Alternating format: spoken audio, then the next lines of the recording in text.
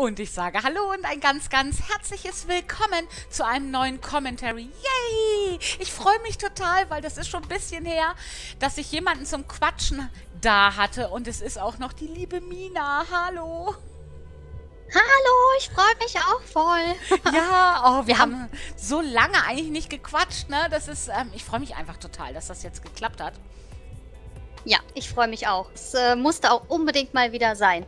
Ja, und schuld ist eigentlich Robert, ne, an dieser Stelle. Liebe Grüße. Grüße, Robert. Immer schuld. ähm, weil es soll heute ein bisschen so um das Thema, das bisschen Haushalt macht sich von allein gehen. Haushaltsführung, Haushaltsaufteilung in Family und wie funktioniert das eigentlich? Und das hat sich ergeben unter einem Video von Mina tatsächlich.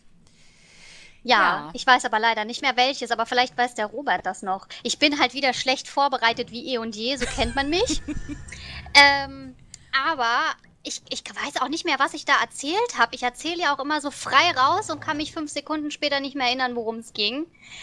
Aber was war denn das noch mit dem Haushaltsthema? Aber wir haben ja, wir haben ja grundsätzlich beim Haushalt so ein paar Fragen, die man da mal stellen könnte. Wie läuft das denn so bei dir, Dama? Du hast doch mal bei Nether erzählt, du hast so, ihr habt so ein großes Haus, ne? Ja, also, als ich noch gearbeitet habe, ich muss dazu sagen, ich habe, als mir gesundheitlich dann nicht so gut ging, das ist ja nun ähm, schon ein paar Wochen auch her und so, habe ich ja aufgehört zu arbeiten. Ich war ja selbstständig vorher. Da war das haushaltstechnisch tatsächlich so gelöst, dass ähm, jeder ein bisschen was gemacht hat. Ne? Also mein Mann hat zum Beispiel hauptsächlich eingekauft, meine Tochter hat sich ganz viel um die Wäsche gekümmert und ich habe halt dann eher so die Küche und so. Weißt du, also das war irgendwie so aufgeteilt, obwohl der Bärenteil oder der Löwenanteil ne, schon bei mir lag. Ne? Also so mit Fegen und Wischen. Aber gar nicht, weil meine Familie das nicht machen wollte, sondern weil ich sowieso gemeckert hätte, wenn sie es gemacht hätten, weil sie hätten es mir nicht recht machen können. Mittlerweile, wo ich zu Hause bin, mache ich halt alles selber. Bist du da auch so ein bisschen perfektionistisch, was das betrifft? Also, also ich würde von mir selber ja behaupten, nee. Und was würde deine Tochter und dein Mann ah, behaupten? Die würden sagen, ich übertreibe. Also anscheinend ja. Ich ja. fände das gut. Ich buche dich. Also du kannst gerne mal bei mir vorbeischauen, weil ich bin, glaube ich, genau das Gegenteil. Ja, das hat meine beste Freundin hat da äh, mal gelacht. Wir haben zusammen in einem Haus, da haben wir noch nicht im Haus gewohnt, sondern in so einem Mehrfamilienhaus. Ne? Und ähm, sie hatte den Schlüssel von unserer Wohnung und ich hatte halt einen Schlüssel von ihrer Wohnung und so. Und da war meine Waschmaschine kaputt und dann bin ich hoch zu ihr und habe meine Wäsche, äh, Wäsche bei ihr gewaschen. Und da lag dann, weiß ich nicht, die Waschmaschine stand in der Küche und während da die Waschmaschine, wenn ich dann zehn Minuten zu früh war, was habe ich bei ihr immer schnell aufgespült. Oder eben die ähm, Wolldecke Bettdecke zusammengelegt oder so. Die hat schon immer so gelacht. Die kennt diesen Tick von mir, weißt du? Die hat auch immer gesagt, du bist doch so ein kleiner Monk. Ne? Also sie hat es mit, äh, mit Humor genommen. Ich glaube, fürs Umfeld ist es manchmal anstrengend. Wie ist denn das bei dir, wenn du sagst, du willst mich buchen? Wer macht denn bei euch den Haushalt?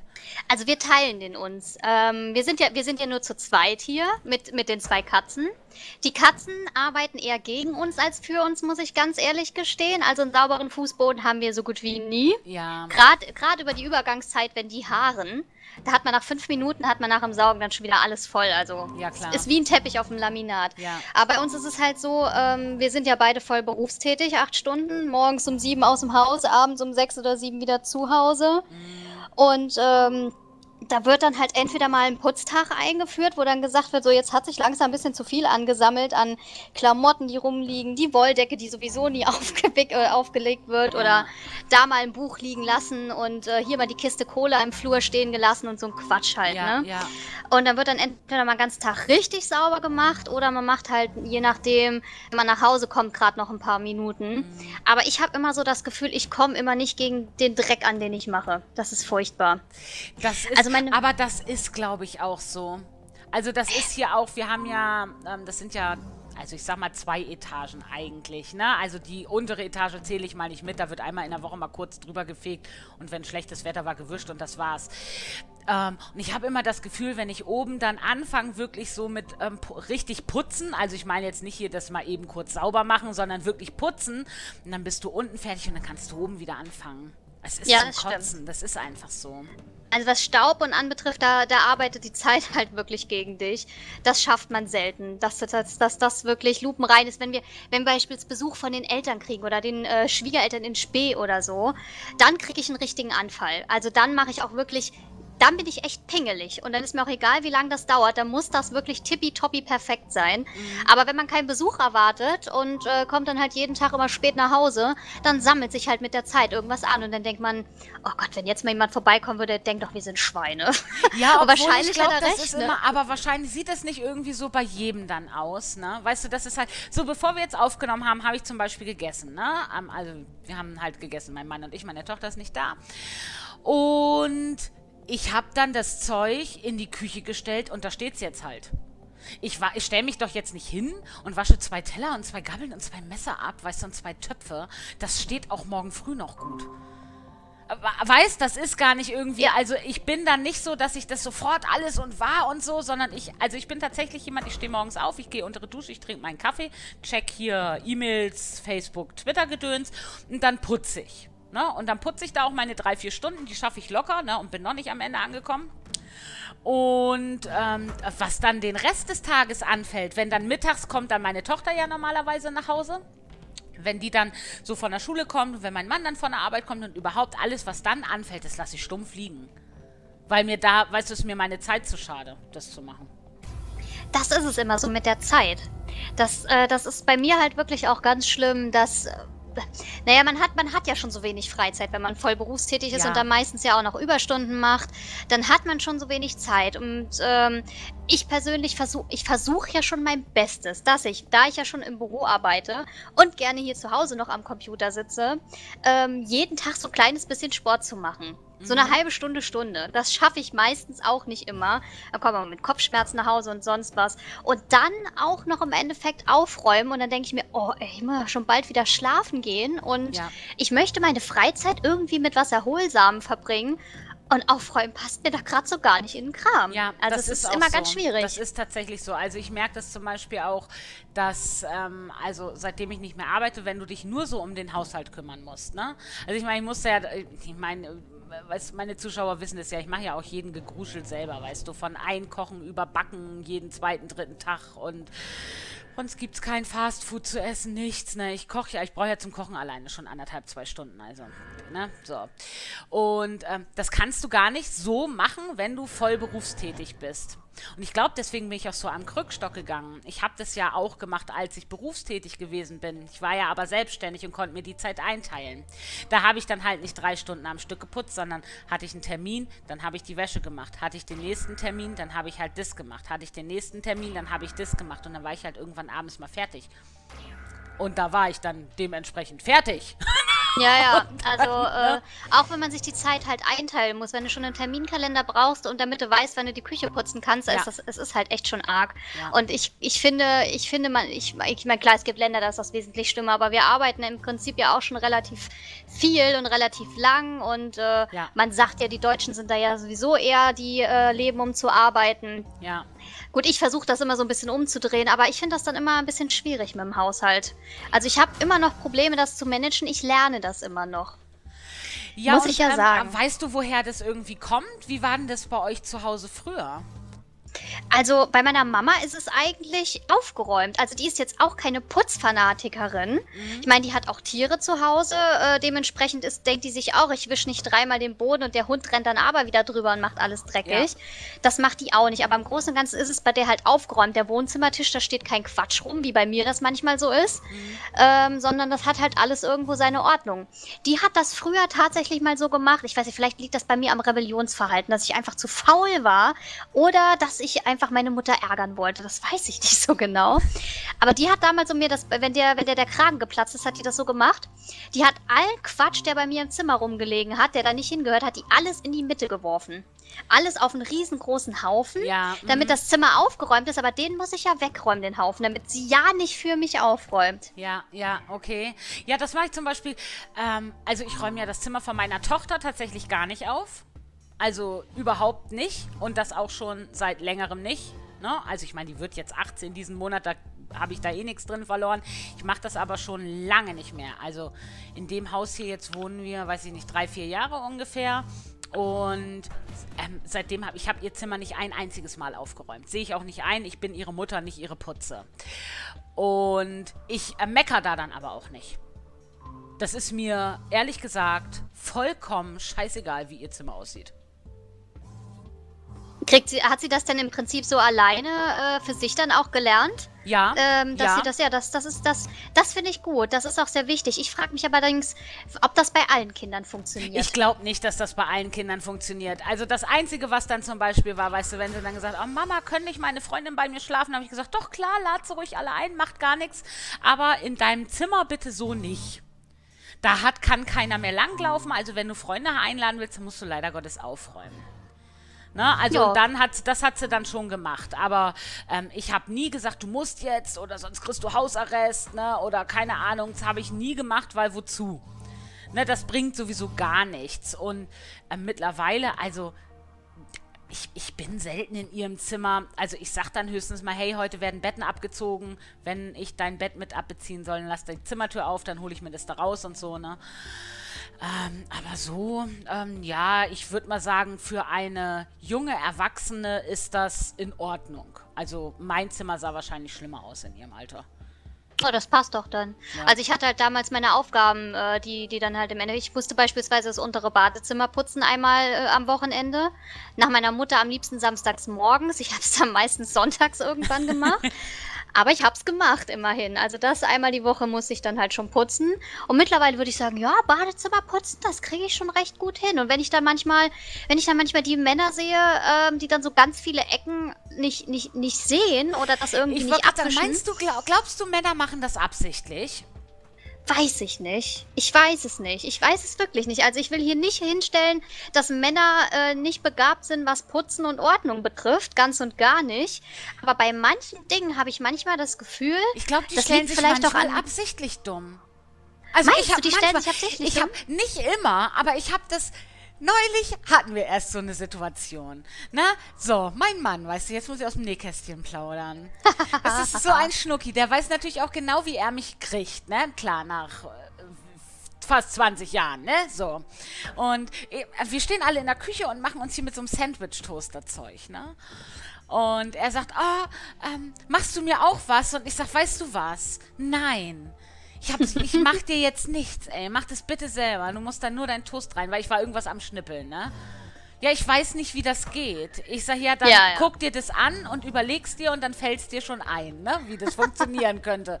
Dann hat er sich ganz provokant, weißt du, seine Toastscheiben belegt wie ein Hawaiitus und in den Backofen geschoben und sagt, ich hätte ja auch gerne ein Sandwich gehabt, aber na ja.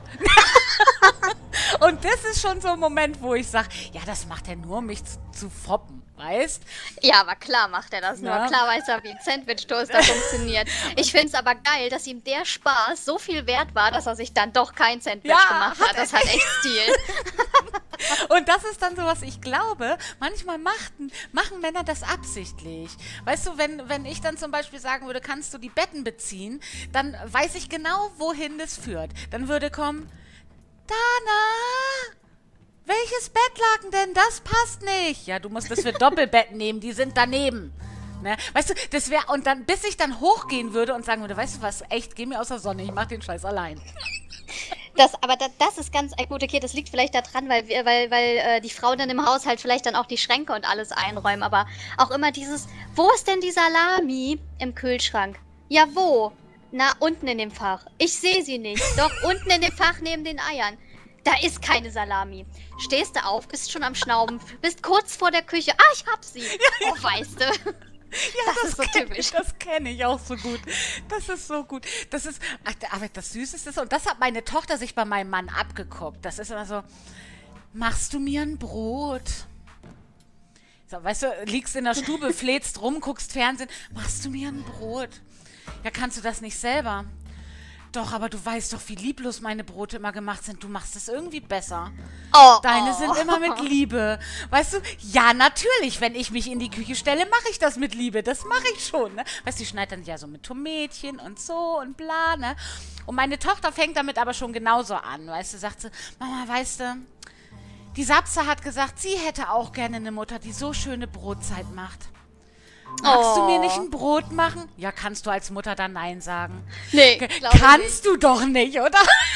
Da musst du schon echt mies drauf sein, dass du dann Nein sagst. Aber das weiß sie ganz genau, Natürlich. ne? Das weiß sie ganz genau. Natürlich wissen die das. Schlaues Mädchen. Das ist schon gemein. Und ich glaube, das ähm, passiert ganz oft so in Familien. Ne? Dass da einfach so die, ähm, also ich sag mal, den Haushalts... Chef, das kann ja auch der Vater sein, ne? dass der dann so umgarnt und ähm, ausgetrickst wird, dass er eigentlich mehr macht, als er machen müsste. Also das, das denke ich schon. Das kann, also ich meine, ich, ich hab, muss ganz ehrlich sagen, ich habe da viel Glück gehabt. Wir teilen uns das sehr gut auf. Und ähm, auch wenn auch mit, mit, dem Badezimmer eben, aber dafür macht er beispielsweise, äh, ich meine, das sind dann wirklich so Sachen, da hat er vielleicht einfach nicht dran gedacht oder hat jetzt einfach nur die wichtigsten Sachen halt wirklich gut sauber gemacht. Und aber wenn er Küche putzt beispielsweise oder hier aufräumt, äh, ich bin zwar manchmal nicht immer konform mit seiner Reihenfolge, da muss ich mich manchmal dran gewöhnen. Also ich würde zum Beispiel erst den Boden putzen und dann die Ablage finde ich irgendwie unsinnig, sinnfrei. Ja. aber wenn nachher alles sauber ist, bin ich auch zufrieden. Also, also ja. er macht viel hier. Und vor allen Dingen muss natürlich sagen, ähm, die Männer haben dann natürlich auch mehr Kraft. Die tragen dir dann mal die Wasserkisten hoch oder die mhm. Katzenstreusäcke. Ja, ich glaube auch Männer machen andere Sachen dann vielleicht ja. dafür. Ne? Ja. Also bei uns ist das tatsächlich so Fenster habe ich glaube ich in meinem ganzen in meiner ganzen Ehe noch nicht einmal geputzt. Das macht mein Mann. Der kann das halt einfach besser. Ja, also Fensterputzen ist seins, das macht er auch.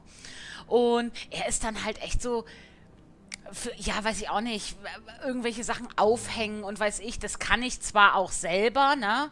Aber, bestes Beispiel, ich mit der Bohrmaschine gehe nach oben, ich wollte neue Haken für unsere ganzen Cardigans im Kleiderschrank festmachen, ne? An der Wand. Wir haben so einen kleinen Raum. Und ich komme mit der Bohrmaschine hoch, meine Tochter. Hast du gesehen? Mama rennt mit einer Bohrmaschine. ich glaube, nee. das sagt sehr viel über meine Künste als Handwerker aus. Oh, schlecht. Aber sowas mit der Bohrmaschine... Macht halt, das macht halt mein Mann sowas dann, ne?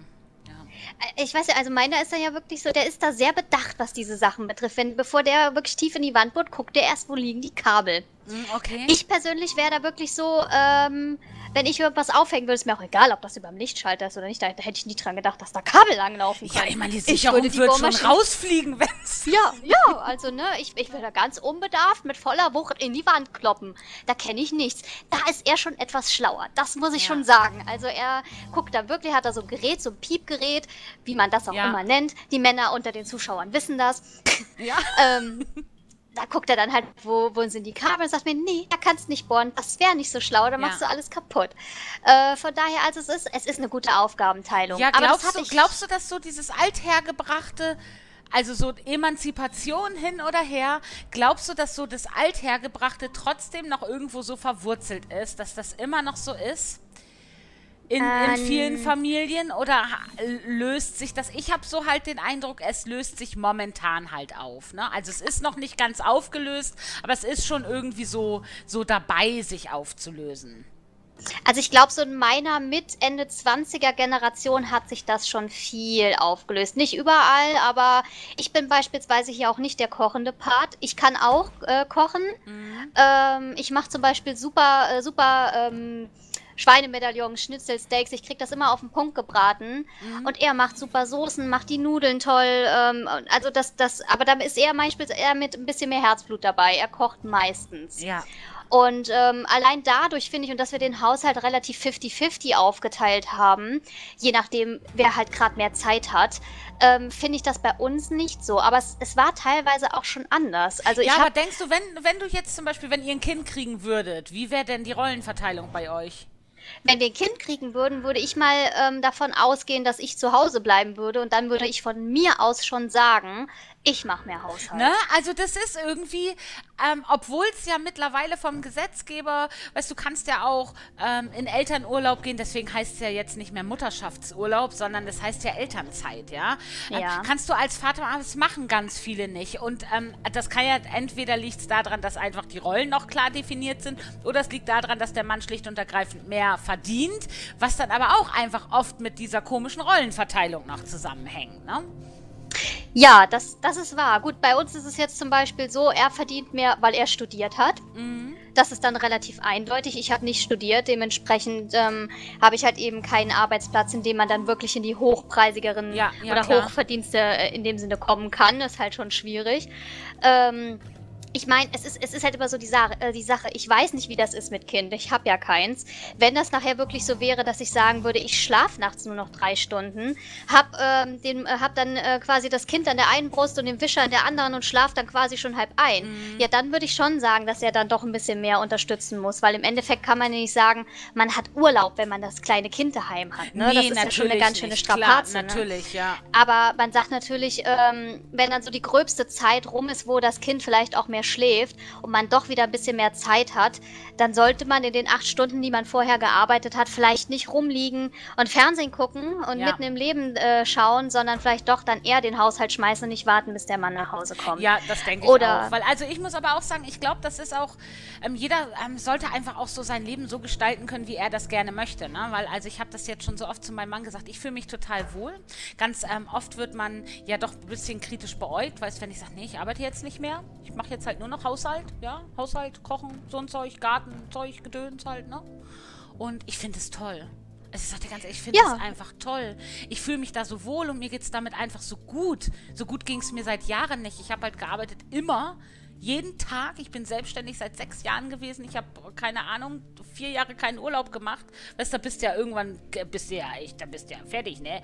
Mit Sugar auch. Ja, ja, das ist einfach so. Und ich muss sagen, ich finde das einfach toll. Das gibt für mich nichts Schöneres, ja, als das so zu leben, wie ich das jetzt tue. Und ähm, ganz oft wirst du aber schief angeguckt. Dann, wenn du dich für so ein Leben entscheidest. Als Frau. Verstehe ich jetzt auch nicht. Also ich meine, es kommt halt immer drauf an, wenn man sich das leisten kann, finde ich das toll. Ich bin momentan in so, in so einer Phase meines Arbeitslebens, wo ich das sofort machen würde, würde ich sagen würde, boah, ich habe keinen Bock mehr auf diese blöde Bürotätigkeit. Äh, die gehen mir alle auf den Keks. Ich würde hier super gerne ein Haushalt auf Hochglanz polieren, äh, dreimal im Jahr geputzte Fenster haben ja. oder fünf oder sechs Mal, mir hier einen kleinen Garten auf dem Balkon anlegen und hast du nicht gesehen.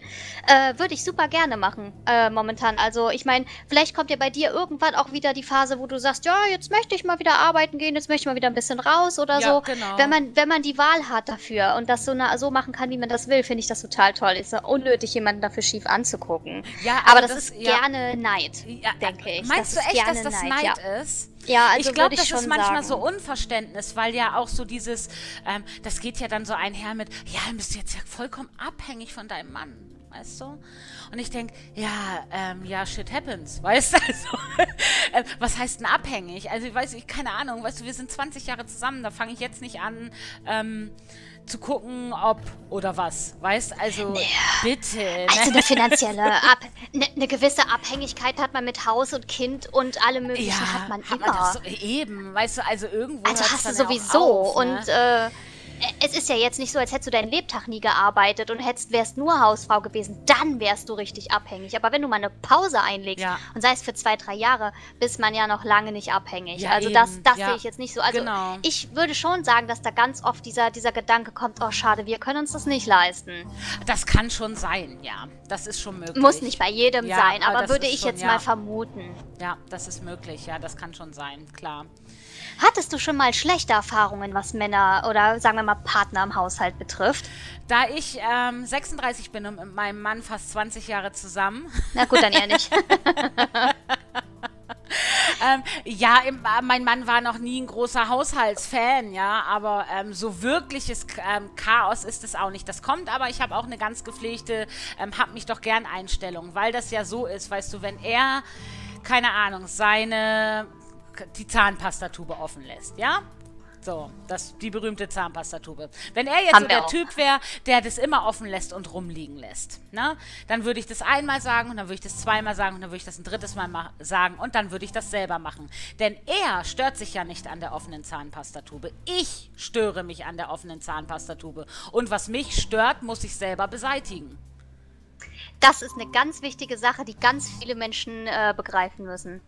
Wenn du mir das so sagst, da wird mir, da wird mir das selber gerade erstmal klar. Da war das hat was, habe ich heute noch was gelernt. ja, ich finde das total gut. Und deswegen gibt es da einfach keinen Stress, weil ich sage das, dann weiß mein Mann, mich stört das, ja. Aber wenn du dann, weißt du, wenn ihn das nicht stört, dann vergisst man das ja auch. Mhm. Ne, er macht das ja nicht, weißt du, er legt es ja nicht provokant, würde er das hinlegen, nur um mich zu ärgern, sondern weil ihn das einfach nicht stört und dann liegt es rum. Und wenn mich das stört, muss ich das wegräumen. Oder halt nicht, oder liegen lassen und mich dran stören. Das ist ja mein Problem, das ist ja mein Seelenfrieden. Das stimmt. Allerdings finde ich, gibt es da auch ein bisschen Grenzen. Also, ich meine, es kommt jetzt immer drauf an, wenn es da so ein paar, paar, Kleinigkeiten sind. Aber wenn es dann, wenn man dann nachher tötet, da, boah, wenn man nachher wirklich jemanden hat, der alles ständig immer rumliegen lässt, seine Socken hinter die Couch wirft oder über die Schrankwand mhm. und hat man nicht gesehen und man ist den halben Tag damit beschäftigt, jemandem hinterherzuräumen, ja, ist auch schwierig. Nee, ne? Äh, hinterherräumen ist halt auch so, äh, meine Tochter hatte eine Phase, das ist jetzt aber auch schon Jahre her, deswegen hat sie nämlich auch die Wäsche damals gewaschen. Hatte eine Phase, Mama, ich habe nichts anzuziehen, Mama, ich habe nichts anzuziehen. Ja, wieso ist doch keine Wäsche da? Nee, es liegt alles oben bei mir im Zimmer. Ja, da liegt es gut. Ja, und dann habe ich zu ihr gesagt, bringst du die Wäsche nicht runter, wäschst du zukünftig deine Wäsche vollkommen allein, ich werde deine Wäsche nicht mehr waschen. Und sie hat die Wäsche nicht runtergebracht und ich habe ihre Wäsche nicht mehr gewaschen. Und dann saß sie da und hatte nichts anzuziehen, gar nichts mehr. Und dann, das war der Punkt und seitdem komischerweise hat es dann funktioniert. Und das würde ich ja mit meinem Mann genauso machen. Wenn er seine Tassen nicht rausbringt und morgen sagt, Schatz, machst du mir einen Kaffee, würde ich sagen, ja, dann bring mir mal bitte eine von deinen Tassen, hier ist jetzt keine. Aber es gibt da so, so, resistente Leute, die holen sich dann eine Tasse von dem Haufen, der da auf dem Tisch rumgammelt, spülen die ab und den Rest lassen sie äh, stehen. Ja gut, okay. Also wenn ich so einen Mann hätte, dann hätte ich mir schon einen Strick genommen, ne? Nein, aber ähm, ich denke, ähm, so eine gewisse Toleranz muss man da schon einfach mitbringen. Und dann einfach, ja. weißt du, wenn, ja, wie gesagt, wenn äh, mich das stört, bin ich dafür verantwortlich, dass das aus dem Weg geräumt wird. Niemand ist dafür verantwortlich, dass mir irgendwas gefällt, außer mir selber. Ja, das ist richtig. Das ja. ist auch absolut nur wahr. Ja. Schlimm finde ich, ich hatte mal, also ich hatte, das ist jetzt auch schon eine ganze Weile her, ähm, einen Freund damals, der hat die Haushaltsregeln ähm, oder was, äh, die Regeln nicht, sondern der hatte so ein bisschen das Niveau seiner Mutter im Kopf. Und seine Mutter äh, war halt, die war halt auch jemand, die war den ganzen Tag zu Hause und hat auch den ganzen Tag Zeit dafür. Ja. Und äh, er hat selber kaum einen Finger krumm gemacht, war aber der Meinung, ich müsste das genau so hinkriegen wie seine Mutter. Und da habe ich auch gedacht, du hast doch einen Dachschaden. Ja. Also das ist dann wirklich so ausgeartet, dass er, ähm, da war, ich war da mal, ähm, ein paar Monate war ich da mal auf Arbeitssuche weil ich äh, meinen Job aufgeschmissen hatte damals und meine, äh, mein quasi mein weiterführender Job, das ist geplatzt und da war ich ein paar Wochen doch, äh, paar Monate doch zu Hause. Und ähm, da habe ich eigentlich größtenteils auch alles am Haushalt übernommen, weil ich gesagt habe, ja, mein Gott, ich bin zu Hause, ne? Warum sollte ich denn hier vom Fernseher sitzen? Dann kann ich die Arbeit auch ja. ganz übernehmen. Und ähm, das war dann so, dann habe ich gekocht er kam relativ spät nach Hause. Ich habe gekocht, habe dann ihm das Essen auf den Tisch gesetzt, als er nach Hause kam. Schön traditionell, ja. wie, in den, wie in den 50ern. Und dann beschwert er sich tatsächlich, dass die Küche dreckig ist. Und denke ich, ja, ich habe ja auch gerade gekocht. ja, nee, sowas geht natürlich nicht, ja. Und wenn er dann um 9 Uhr abends nach Hause kommt, dann setze ich mich um 10 Uhr auch nicht mehr hin und räume die Küche auf. Das mache ich am nächsten Morgen. Ja, und dann ja. habe ich gedacht, du hast doch einen Knall, sag ja, mal. Klar, nee. da hat, also ja. das, das, das waren schon sehr, sehr, sehr, sehr komische äh, Ambitionen, was der da hatte. Ja, manchmal ist das halt, das kommt halt auch immer darauf an, was man von zu Hause so mit ähm, vermittelt kriegt, glaube ich tatsächlich. Und das ist auch den Ball, den wir jetzt wunderbar abgeben können an die Zuschauer, glaube ich. Ähm, wie sieht's bei euch zu Hause aus? Also ich brauche keine Beweisfotos, ne? Ich meine eher, wie sieht's aus mit, mit, mit, Haushaltsführung? Wenn ihr Single seid, seid ihr putzfanatisch oder lasst ihr fünf gerade sein? Wenn ich jetzt ähm, überraschend klopfen würde, könntet ihr die Tür aufmachen oder würdet ihr sagen, ich bin in zehn Minuten an der Tür und würde noch schnell alles in die Schubladen verräumen? Ähm, oder ähm, wie war das bei euch damals zu Hause? Gibt es diese klassischen Rollen noch? So dieses ganze Haushalt, Mann-Frau-Thema? Ähm, ja, hätte ich einfach gerne ein bisschen in den Kommentaren. Ich bin sehr gespannt, was dabei rauskommt. Ich auch. Vor allen Dingen bin ich gespannt, ob da vielleicht mal gute Tipps und Tricks bei rauskommen. Ja, Haushaltstricks ja. gerne gesehen. Übrigens gegen verkalkte Toiletten hilft Cola. Ja, das kenne ich schon. Cola oder Orega-Tabs. Orega-Tabs Orega gehen auch gut, ja, das stimmt.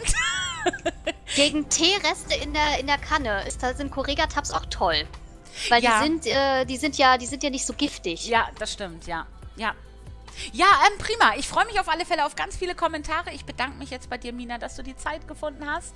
Ich danke dir. Hat Spaß gemacht. Ja, mir auch. Und ich sage bis zum nächsten Mal. Ciao, ciao. Tschüss.